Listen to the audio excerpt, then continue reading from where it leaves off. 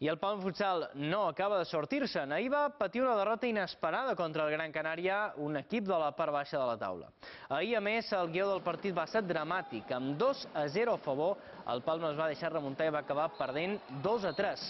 La falta d'intensitat i dues errades de Sarmiento condemnaren a l'equip mallorquí. En acabar el partit, Antonio Badillo va parlar molt clar d'aquesta derrota. Un equipo como el nuestro, la segunda parte que hemos hecho no nos lo podemos permitir. Esa actitud en primera división no se puede tener. Si quieres ser un profesional de, de hecho, no, no nos podemos permitir el lujo de, de, salir la segunda parte como hemos salido, ¿no? de hacer la segunda parte que hemos hecho.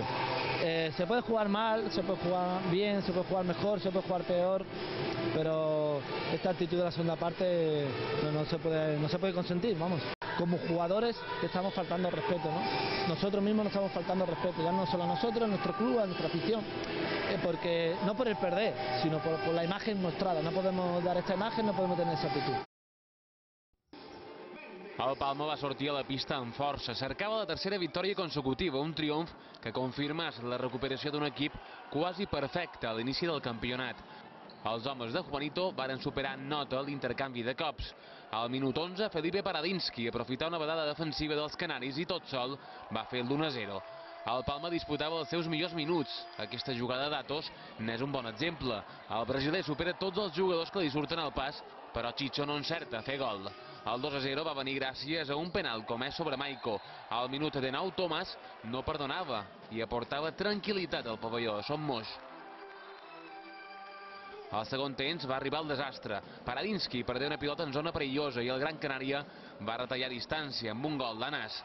En una jugada sin más peligro no hemos creado nosotros un problema cuando ese balón si no se puede jugar se tira arriba y no pasa nada, no pasa nada, no todo tenemos que hacerlo tan bonito, no todo tenemos que hacer a dos, tocando, saliendo.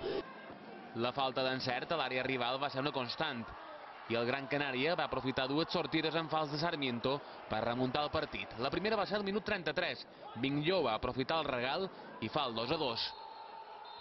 Chicho va tirar als nívols una pilota que hauria pogut suposar el gol de la victòria. Però quan faltaven 3 minuts per al final, el porter del Palma tampoc no va mesurar bé la sortida i Vinllova torna a trobar-se en la situació perfecta. Es que si no tenemos actitud, no tenemos intensidad, a partir de ahí aparecen muchos errores, ¿no?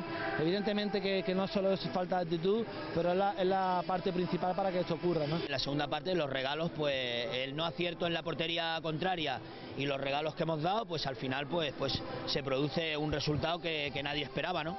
El 2-3 final enfonsa la moral d'un equip que és quart, però que no acaba de trobar el camí brillant de l'inici de la Lliga.